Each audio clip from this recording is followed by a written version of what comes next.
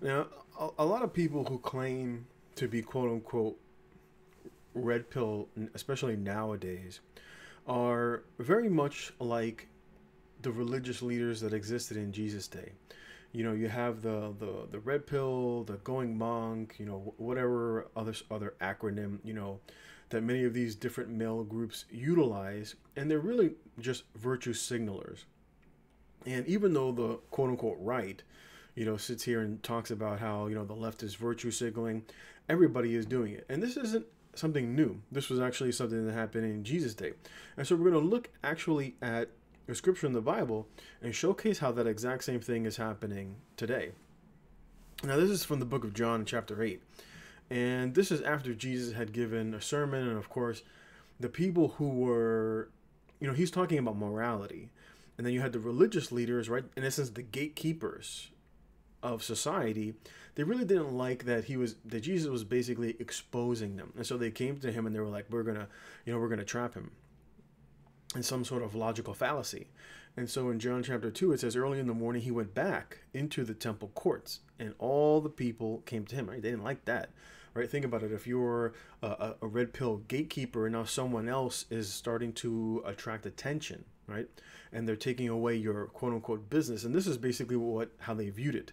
They're basically losing their power to this individual because he was opening the eyes of the people. And so it goes on to state all the people came to him and he sat down to teach them. And then the scripture goes on to say, and the scribes and the and the Pharisees, however, brought to him a woman caught in adultery, right?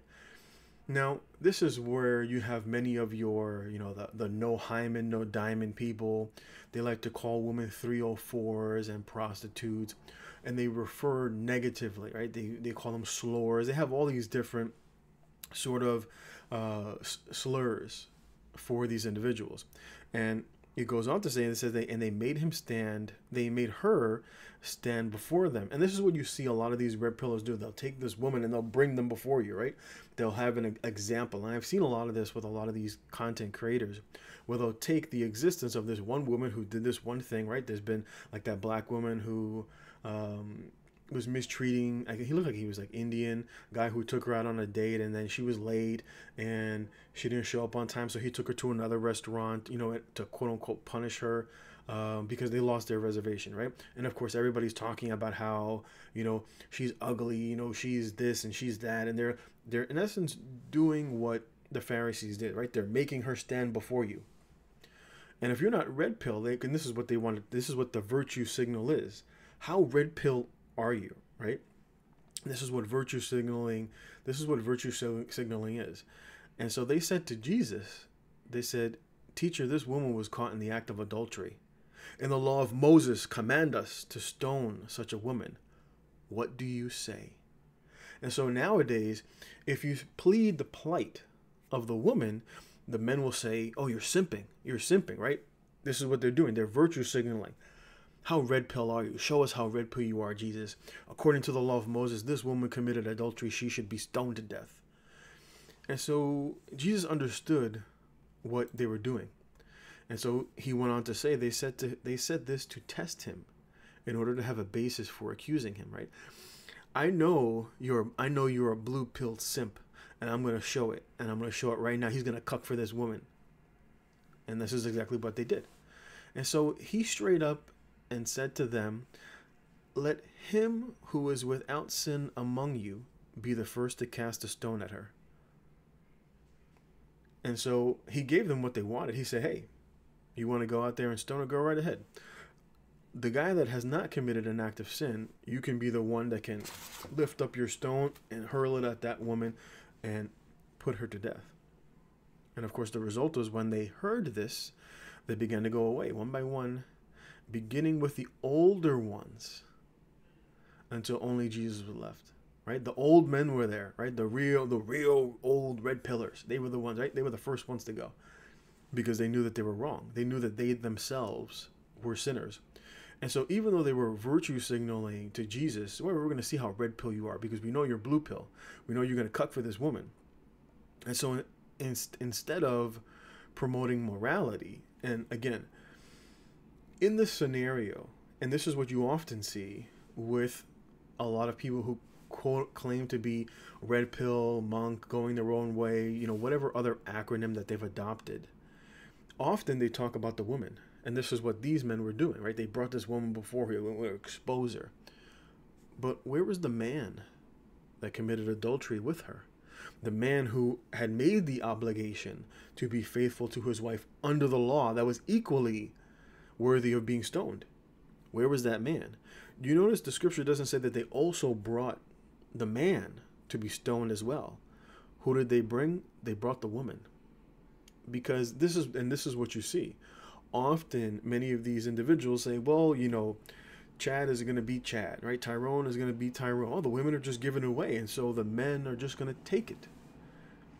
And this is what gets promoted. This is sort of this sort of virtue signaling gets promoted, and it gets promoted on both sides. This is by no means something that is exclusive on the left but this is something that is very much you've seen on the right. And this is what a lot of these men do. A lot of these men who today, who are your scribes and who are your who are your Pharisees, who are in essence your religious leaders among the red pill, among the monk community, among the men going their own way, among the manosphere, right? These are your uh, these are your scribes and your Pharisees. They are your religious leaders. They are your teachers.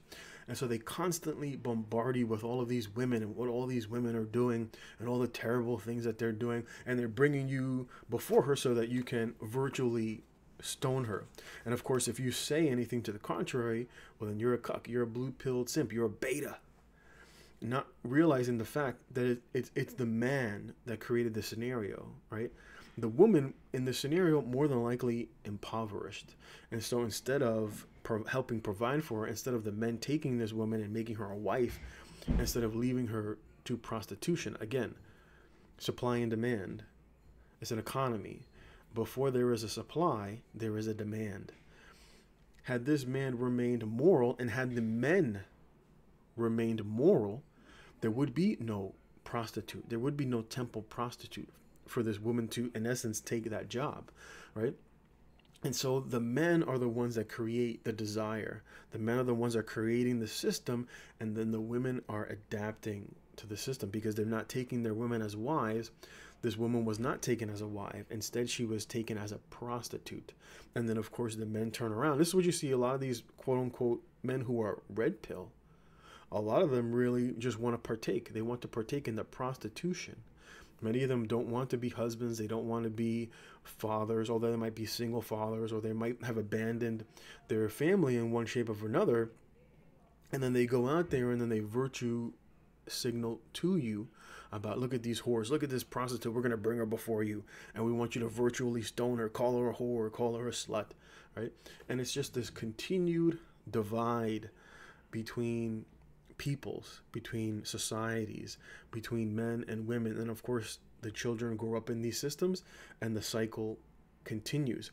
And so, of course, Jesus helped people to show that, yes, while this woman was wrong and was committing on and breaking the, the law of Moses, but really he was helping them to see their own influence or their their own sinning. They, they were the ones that were equally partaking right? There was no no one brought the man. What happened to the man? What happened to the husband in that scenario that was committing adultery against his wife?